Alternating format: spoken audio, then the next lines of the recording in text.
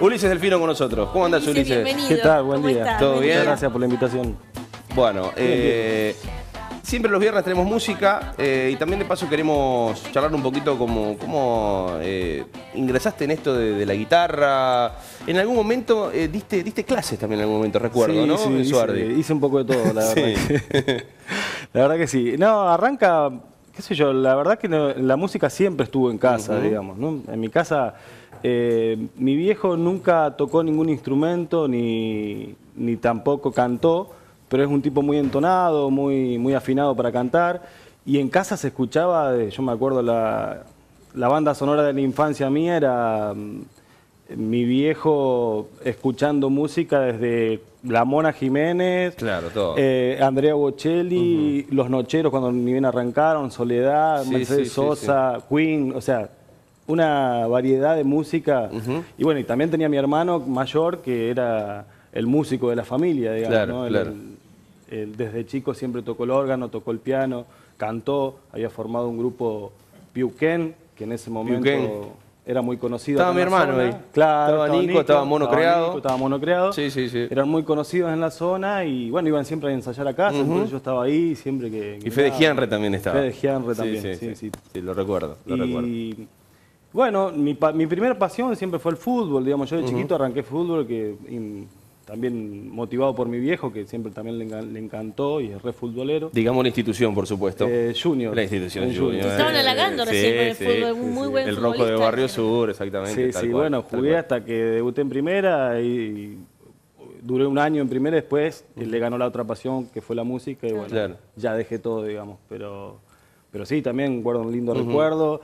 Y bueno, esto de la música empezó como un hobby y después se transformó ya en una pasión, Claro, claro. que claro. superó inclusive el fútbol. ¿no? Sí, sí. Eh, eh, en Suardi todos tomamos contacto o en algún momento con Selvino o con Kunfi. El- el- eh, ¿Fue por el lado de Kunfi lo tuyo o, o Eh, a ver. es- estaba, había otra, otra profe también, no? No, Eh, pasa que eh, yo cuando arranco a tocar eh, una- la guitarra, yo empecé eh, en el grupo juvenil de la parroquia. Claro, En el grupo sí, sí, juvenil sí, de la recuerdo. parroquia, en ese entonces era un, un grupo muy grande, todos Sí. los jóvenes de Suardi, la mayoría participaban, se hacían cosas lindas, ¿no? Entonces, bueno, me invitan, yo voy un día y veo, había dos o tres chicos con guitarras que cantaban, que uno era mi hermano, y veía que, digo, qué loco esto, qué bueno lo que hacen, digamos, ¿no? Animar las reuniones, animar las adoraciones, animar y participar, los jóvenes que nunca se había visto, digamos, yo siempre veía a la gente grande, digamos, Claro, en- claro, en claro. la parroquia. Y, y me interesó, y bueno, Vale Pepino, vecina Vale, tuya, sí, sí, sí, sí. eh, que hasta el día de hoy es una amiga que, y una hermana del Y alma, gran digamos, luthier. ¿no? Gran luthier. Gran luthier. Sí, se dedica a la lutería ahora, vive en las sierras de Córdoba. Eh, siempre nos mantenemos en contacto. Bueno, ella me, me anotó los primeros acordes en la guitarra, sí, porque mi hermano no me daba bola. Entonces, bueno, me, me anotó los primeros acordes y empecé probando con mi enfermedad de Andrés Calamar. Claro, sí. Y ahí arranqué, digamos, ¿no? Y ahí ya muy autodidacta. Después fui un tiempo también de Kunfi para aprender algunas cosas, porque también lo conocí en la parroquia. Sí, Kunfi una persona Y- muy activa. Sí, eh, incluso sí, hizo total. en algún momento música cristiana, hizo, hizo Sí, mucho. muy generoso aparte. Mucho. Héctor. Sí, sí, sí. Siempre muy generoso a la hora de, de apoyarte. Inclusive yo estuve un tiempo con él también cuando había armado la banda de toda gente de Suardi, ¿te acordás? Que lo acompañaba y bueno, eh, estuve un tiempo también participando con él haciendo guitarras, coros, digamos. Y bueno, después ya me fui a Córdoba, estuve un tiempo en Córdoba por, gracias a Vale que me ayudó a irme porque mis viejos Sí. no me podían bancar, entonces me fui a Córdoba, estuve estudiando un poco de música en Córdoba, después me quedo sin trabajo, todo resumido, ¿no? Sí, sí, sí, sí. Vuelvo a Suardi, empiezo a trabajar en Suardi, pero nunca me quedé con la música. Siempre empecé a, digamos, a estudiar por, por internet, por YouTube, por... Y, y bueno, y así empecé a componer también, empecé a hacer un montón de cosas con la música. Estuve con Mateo Buto eh, hasta hace poco, antes de la pandemia, Sí. estaba con él, formando el grupo de folclore. Tuve una banda de rock también, no sé si te acordás, de Vanguardia, con Rodrigo Peretti, Francisco Chico, toda gente también Sí. ahí de Suardi. Eh, Francisco, que está en Proyecto Brothers ahora, Claro, con los, chicos- con los claro, hermanos claro. Brocheto y demás, con Jorge, bueno, eh, Rodrigo, gran guitarrista también. Sí, eh. sí, sí, sí, la verdad que hay mucha, mucha gente interesada por la música en Suardi y traíamos a colación lo de Kunfi Girao, porque en algún momento, yo lo- me parece que está bien enmarcarlo en década del, del 90, explosión del folclore joven, lo Sí. decía Nochero, Soledad, todo. y todos íbamos a guitarra de Kunfi. Sí. Kunfi tenía sí. ahí una, una banda de gente que iba a aprender, eh, porque bueno, íbamos, nos daba los acordes, nos daba algunas cuestiones y ya lo teníamos como para la reunión. Y muchos, muchos empezaron así, después se fueron obviamente perfeccionando. O bien Salvino Ortolano, que fue en su momento una verdadera usina de, de músico. Por eso hacemos referencia a estos, a estos personajes musicales de Suardi también, Sí. ¿no? Sí, Eh, y después, eh, bueno, eh, siempre tratando, interesado, por ejemplo, no, no hace mucho me decías esto de Mateo Busto, pero siempre interesado en estar, en esto de, de tocar, sí, de... sí. La pandemia a mí me ayudó bastante porque yo no estaba muy conectado al tema de redes sociales y todo eso, compartiendo la música, Claro. digamos, ¿no? de lo que hacía yo, digamos. Y bueno, esto me impulsó también a, a volver. Tuve un impas antes de la pandemia de casi un año de, de no hacer nada, digamos, eh, por, por, bueno, por, por un montón de cosas, problemas personales y demás, eh, que la música pasó a- por un tiempo a formar un segundo plano. Y bueno, cuando empezó el tema de la pandemia, arranqué otra vez a componer, arranqué otra vez las cosas. Y investigando, eh, es- encuentro a Silvia Meuli, que es una, una gran profesora de canto que eh, trabaja en, en la escuela hace 30 años en la, en la escuela de comedia musical de Julio Boca. Y bueno, tiene una trayectoria, trabajó en el Colón, estudió en el Colón, digamos, ¿no? Entonces empezamos por Zoom, ella muy humildemente, un día yo le escribo, digo, esta no me va a contestar, Sí. digamos. Y muy Perdón, ¿es la misma que trabaja con Kunfi, puede ser? Que es- tiene No, relación- no, es no. otra, pero Es Kunfi otra- también está otra. trabajando con una, una, profesora de, de canto, ¿no? Sí, otra, otra.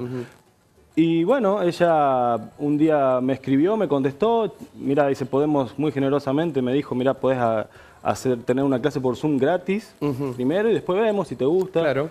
Y bueno, y así arranqué y la verdad que muy agradecido con ella, muy enganchado también, es una genia, la verdad, una genia en lo que hace y, y bueno, así que ahora estoy como muy de lleno en eso también. Mirá es como que empezaste sí. a darle más eh, bolilla a las, de- a las redes, digamos, por decirlo Sí. de alguna forma. Sí, sí. Eh, ¿Le dedicas tiempo? ¿Cómo, Sí. ¿Cómo haces? ¿Cómo lo manejas? Porque también Ahora, en ahora estoy un poquito, el- también tomé otro impas porque estoy grabando. Estoy, gracias a Diego Bianco, estamos como, gracias a él, lo conocí acá en Morteros, porque no conocía a nadie, yo acá en Morteros Claro. Músico, y bueno, empecé con él, empezamos a grabar, entonces bueno, estoy grabando mi primer material discográfico, que bueno, va a salir en las plataformas dentro de poco. Claro.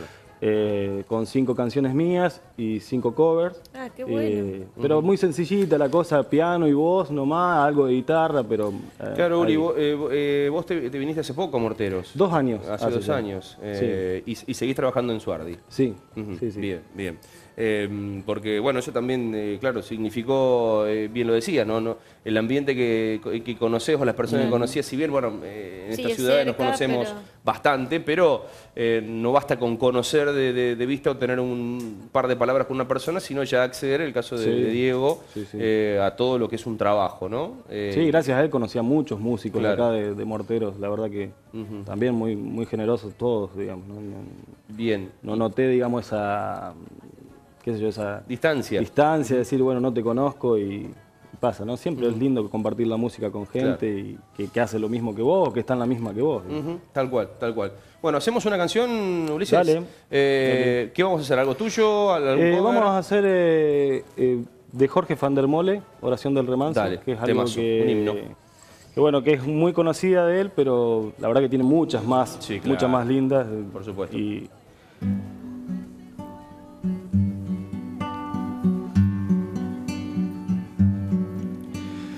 Soy de la orilla brava, del agua turbia y la correntada, que baja hermosa por su barrosa profundidad. Soy un paisano serio, soy gente del remanso valeño, que es donde el cielo remonta vuelo en el Paraná. Tengo el color del río y su misma voz, en mi canto sigo, del agua mansa y su suave danza en el corazón. Pero a veces oscura, va turbulenta en la ciega hondura y se hace brillo en este cuchillo de pescador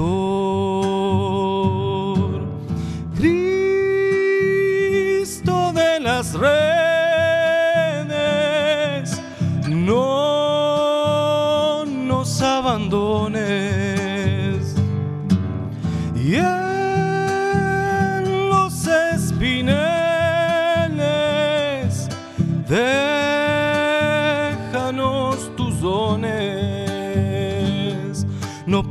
Pienses que nos perdiste, es que la pobreza nos pone triste, la sangre tensa y uno no piensa más que en morir. Agua del río viejo, llévate pronto este canto lejos que está aclarando y vamos pescando para vivir. Llevo mi sombra alerta sobre la escama del agua abierta y en el reposo vertiginoso del espinel. Sueño que alzo la proa y subo a la luna la canoa y allí descanso, echa un remanso mi propia piel. Calma de mis dolores, ay Cristo de los pescadores, dile a mi amada que está penada esperándome. Que ando pensando en ella mientras voy vadeando las estrellas, que el río está bravo y estoy cansado para volver.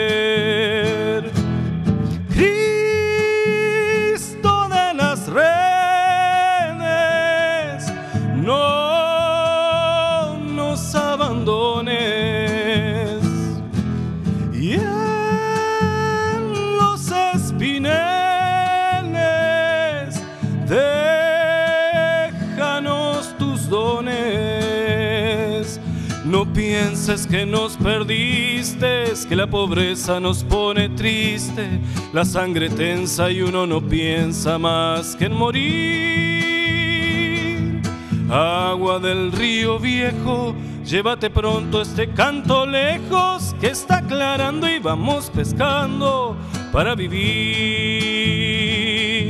Agua del río viejo, llévate pronto este canto lejos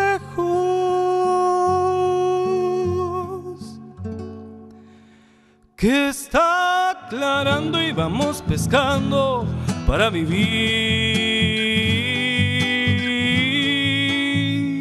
vivir.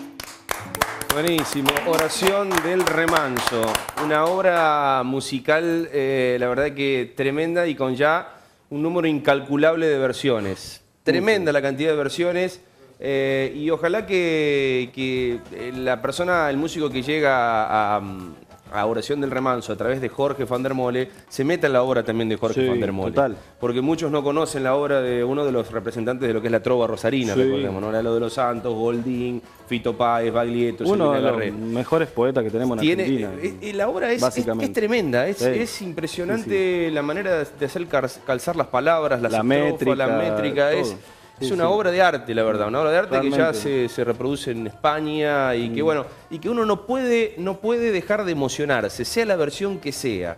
Eh, y, y más si es un, es un ámbito de río, un ámbito de, de isla, eh, Polvi seguramente ahí miraba atentamente, eh, pero es más allá de eso, de, de ese detalle, es, es- el relato es bárbaro, Es tremendo. bárbaro. Y muy buena la versión también de Ulises. eh.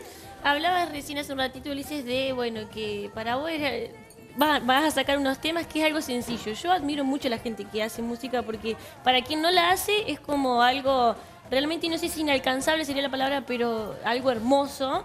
Eh, y quería preguntarte qué significa para vos la música en tu vida o qué esencia tiene o cuál es la clave de la música para vos en tu vida. Mira, la, la música para mí, me han hecho la pregunta esta varias veces, amigos, compañeros, Sí. familiares. Eh, la verdad que es una forma de canalizar los sentimientos de uno, lo que uno va viviendo en el día a día, digamos, ¿no? Eh, qué sé yo, yo miraba el programa de ustedes cuando estuvo Mingo, por ejemplo. Sí. Bueno, y él decía esto de, de, de que si no, la música salva y sana, ¿no? Bueno, sí, tiene un poco de eso también, ¿no? Eh, es una forma de canalizar. Hay gente que, por ejemplo, canaliza en la cocina, en las plantas. en- y bueno, y el músico cali- canaliza en la música, digamos, ¿no? Eh, está buenísimo porque, porque la verdad hay cosas que no las puedes poner en palabras a veces y con la música te salen. digamos, ¿no? Claro. Porque ya, ya con la música hay un sentimiento, hay, hay una forma sublime de decir las cosas, ¿no? Y para componer utilizás algo de todo eso que estás...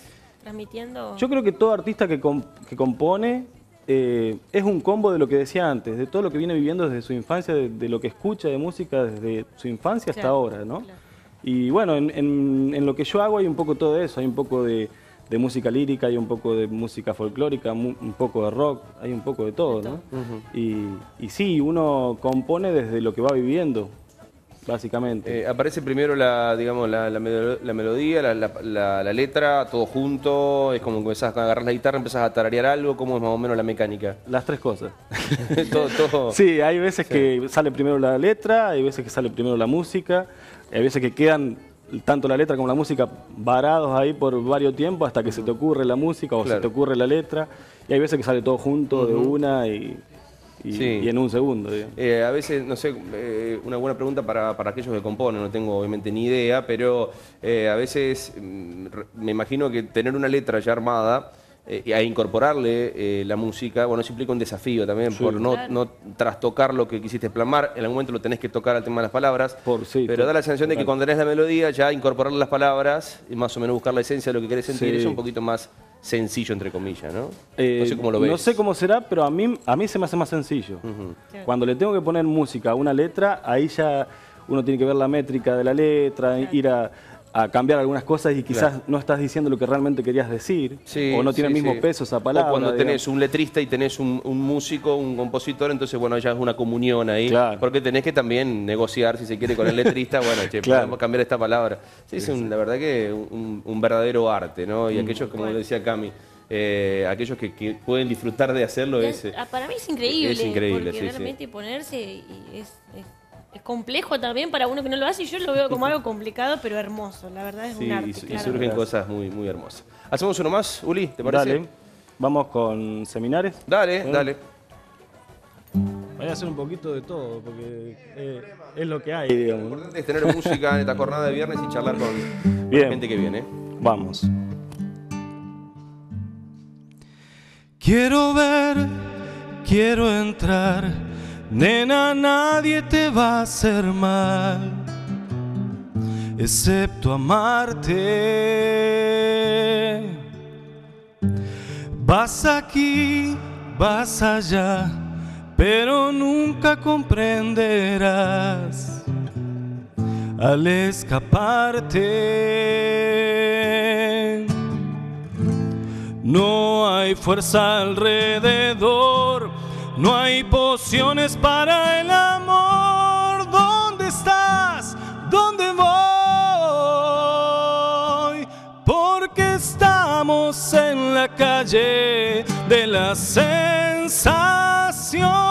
uh, muy lejos del sol que quema de amor. Te doy pan, quieres sal, nunca te voy a dar lo que me pides. Te doy Dios, quieres más, es que nunca comprenderás a un pobre pibe. Esas motos que van a mil, solo el viento te hará sentir nada más, nada más. Si pudieras olvidar tu mente frente a mí, sé que tu corazón diría que sí.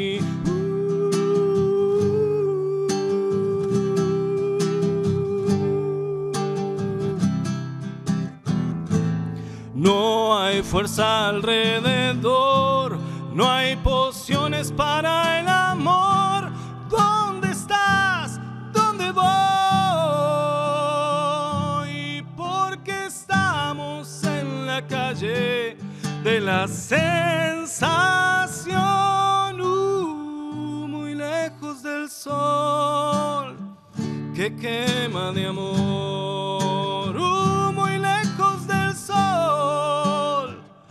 que quema de amor.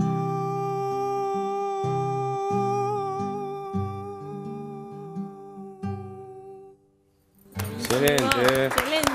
Ulises Delfino, entonces, con esta obra cumbre del rock nacional, Seminare. Eh, ¿Tenés preparada alguna tuya, alguna canción tuya? Eh? Mirá, tengo un pedacito. Bueno, Tengo un pedacito de... Vale, justamente quería compartir, llegando el Día de la Madre, y que estaban hablando de la madre y la consigna de mamá eh, un tema que una vez le hice a mi hijo cuando nació.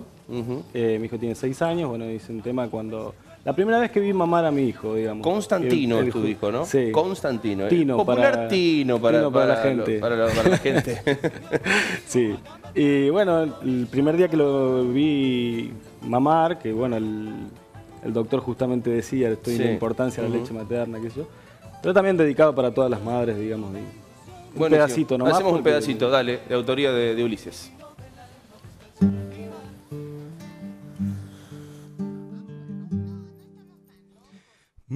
Miro y no puedo ver un paisaje mejor, ni aun cerrando los ojos imaginándomelo.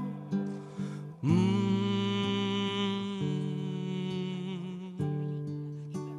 Es la ternura en la casa, en el olor de una mano tendiendo brazos al amor, amamantándolo. Es la ternura de un llanto llenándolo todo.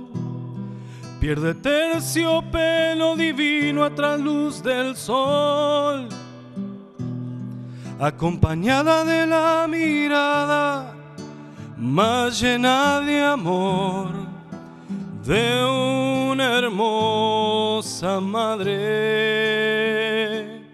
¿En qué momento se detuvo el tiempo sin que me diera cuenta yo?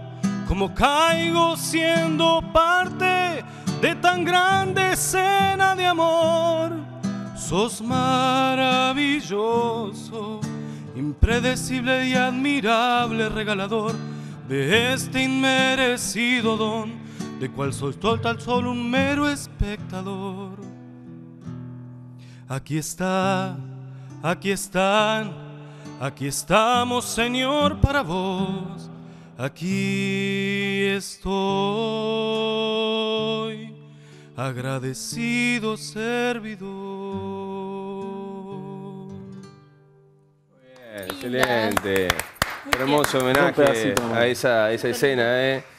Esa escena única, Sí, es único realmente y que, bueno, eh, teniendo en cuenta este, este contexto que se viene, es más que, más que propicio. ¿eh? Bueno, eh, recta final de- del Recta programa final. eh, y tenemos algo más para, para Sí, compartir. sí, si te quería parece? compartir algo com- también. completito, ¿eh? Algo también lírico que también hago. Dale, Así dale, que, buenísimo, buenísimo. una sí, sí. Romanza, o sea, un mu- tema- mucho- mucha inquietud ahí, Ulises, en, en- en lo que estás haciendo. Digo, Y tiene que ver eh, mm. mucho con esto que te decía, de que en mi casa se escuchaba de todo. Claro, ¿viste? claro, claro. Entonces, como que eh, yo me acordaba, por ejemplo, anoche de mi viejo, mi viejo eh, en el tiempo de los cassettes, que vos también lo, Sí, lo habrás sí, vivido. Sí. Bueno, yo Eh, soy parte, de, parte importante de lo. Se quedaba grabando, se quedaba grabando el programa de la noche que pasaban canciones. Sí, sí, sí. sí. Porque había un tema nuevo que le gustaba y se quedaba grabando. Es más, si te decían los conductores, va para grabar, chicos. Uno, dos.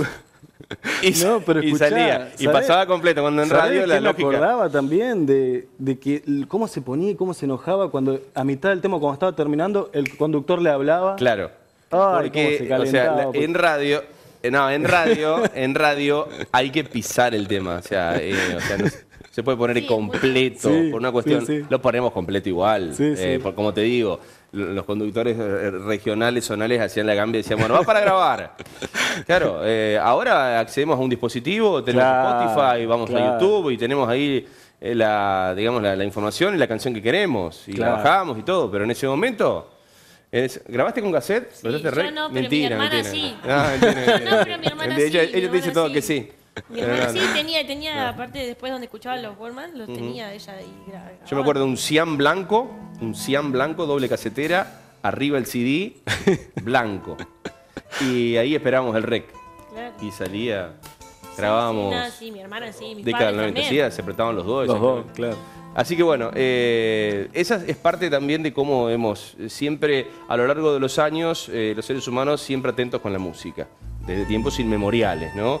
Y bueno, ¿qué va a ser la excepción en, en esta época? Seguimos Seguro. siempre interesados, ¿no? Seguro. Y bueno, y hacemos uno más. Romanza. de Romanza. Bocelli. Dale.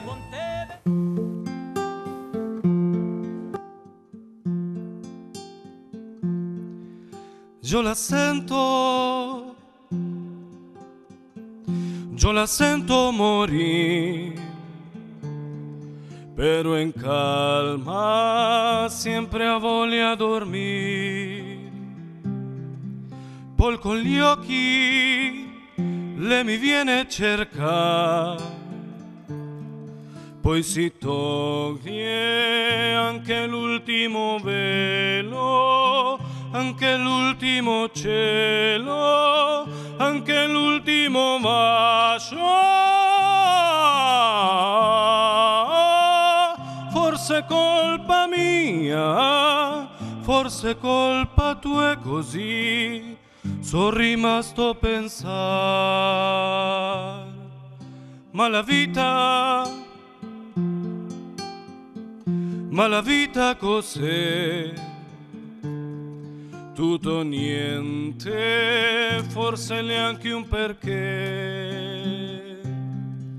Con le mani le mi viene a cercare, poi si toglie, lentamente mi lascia, lentamente mi stringe, lentamente mi cerca. Forse colpa mia, forse colpa tua è così, sono rimasto a guardare. E lo chiamano amor, e lo chiamano amor, e lo chiamano amore una spina nel cuore che non fa dolore. È un deserto questa gente con la sabbia al fondo al cuore tu che non mi senti più, che non mi vedi più. Al cormelo il coraggio, la forza di dirti che solo con te. Ave Maria, Ave Maria.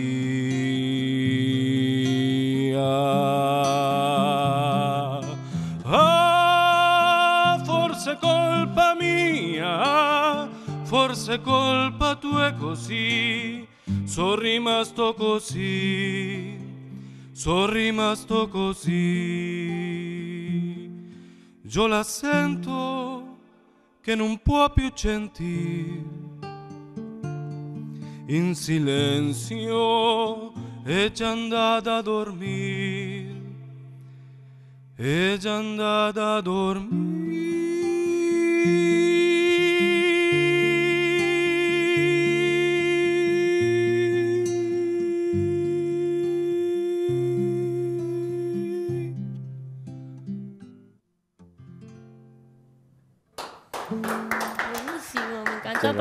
Sola, Luis, y de repente acá al lado tuyo, Luciano se fue a preparar para el noticiero como Está todos bien, está bien. esta semana ha sucedido, pero bueno, eh, vamos a tener que cerrar juntos. Contame, me gusta porque es un género distinto a lo que venías cantando. Sí, lo dijiste sí, hoy sí. temprano, como que te gusta ir variando, ¿no? Sí, sí, la verdad que no tengo un género definido. Ajá. Eh, sí, de donde, mm, de donde arranqué fue siempre el folclore, digamos, pero bueno, pasé por el rock, pasé por la, la música trovadora, digamos, por la trova cubana, trova rosarina, y bueno, también por lo lírico. Por lo lírico, por eso me encantó, muy lindo. Y de todos tomás algo, digamos, los, Claro. los apropiás. o- Claro, después de las composiciones salen de toda esa mezcla, digamos. Bien, excelente. Sí. Bueno, Ulises, rapidísimo, Ulises, ¿cómo definirías vos a tu mamá si tuvieras que dar una frase y una palabrita?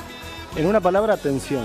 Atención. Es súper atenta, pero no conmigo, con todo el que va a casa. Es, Qué lindo esas madres. es insoportable, pero para bien, digamos. Para bien, Eh, qué sí, bueno. sí. Le mandamos un beso del nombre. Olga. Olga. Un feliz día de la madre para Olga y para todas las madres. Yo me voy, los veo el lunes. Eh, gracias a todos por estar ahí. Bueno, y por compartir una mañana más acá en BDM. Y nos vamos con Ulises y un temita. ¿Te parece bien? Dale. Dale. Chau, chau. Gracias.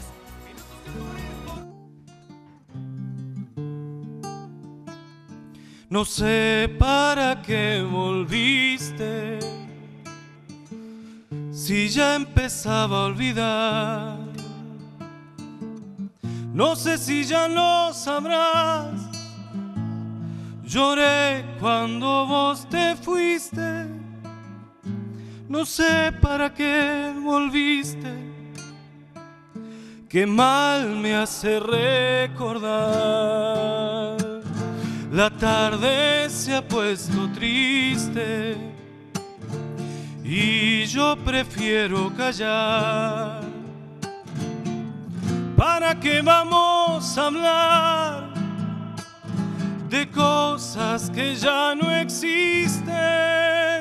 No sé para qué volviste. Qué mal me hace recordar. Qué pena me da saber que al final de este amor ya no queda nada. Solo una pobre canción da vueltas por mi guitarra y hace rato que te extraña mi samba para olvidar.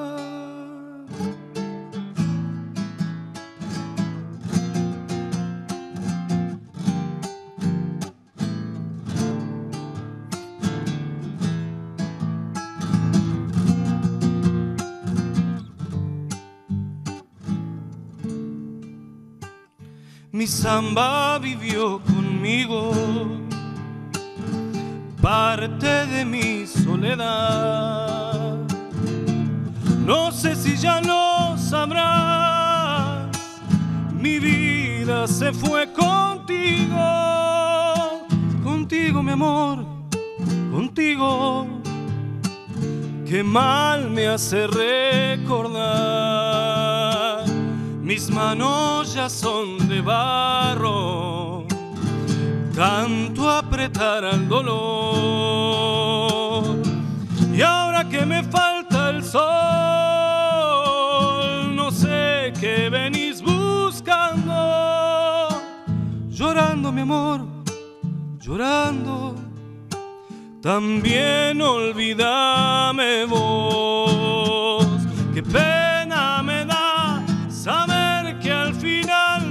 amor ya no queda nada, solo una pobre canción da vueltas por mi guitarra y hace rato que te extrañas.